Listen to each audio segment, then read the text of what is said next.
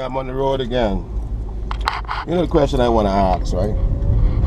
I asked a couple of people who, you know, hit me up, asked me to go take a picture here, do a video here.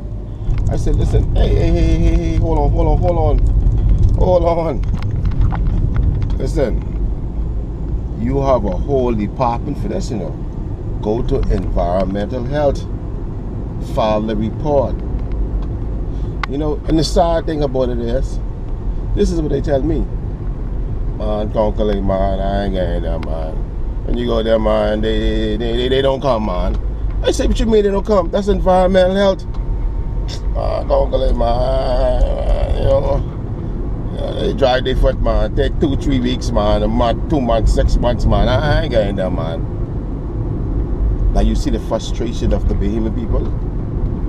When they see law being broken, when they see things happening and festering, of they go to environmental health, they say they ain't getting because ain't nothing can be done. That's a sad thing. But they say to be shy. Uncle out.